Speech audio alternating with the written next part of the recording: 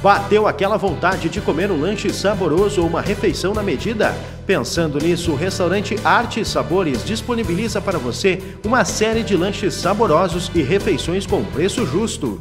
Venha conhecer e desfrute da nossa tela entrega através do telefone 3672 1296. Restaurante Arte e Sabores, sua satisfação é o nosso objetivo.